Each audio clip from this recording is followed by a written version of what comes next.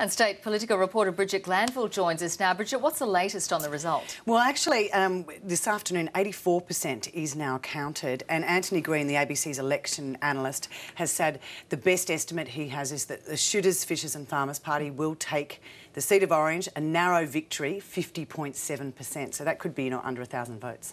What a massive swing against the Nationals. How significant is it? It's a huge swing, you're right, against the Nationals. This was National Party core heartland and it's got many of the MPs worried. In some of the polling booths, Juanita, they were seeing swings against the Nats of 60%.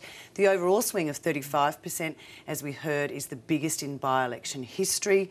And I've been told from a number of MPs, from voters, that it was very clear Greyhounds, local councils and Troy Grant's leadership were behind the reasons. So what's the future for the party? Well, there's a lot of soul searching going on. Troy Grant was given a bit of a reprieve when they announced the decision to reverse the Greyhound racing ban. They always said we're going to see how things have gone in Orange, but now that things are much worse, his leadership is definitely under threat. We know on Tuesday there's going to be a spill.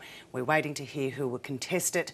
John Barilaro, the member for Monaro, his name has been talked about, and that's going to be interesting. He's a very good friend of Troy Grant's. Troy Grant's the godfather to his youngest daughter. It's going to be messy.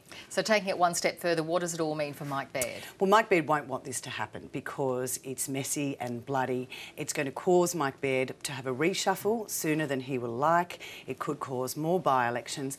But just overall, having a leadership spill in the Nats of the coalition is disunity, and he doesn't want that. Brigid Glanville, thank you.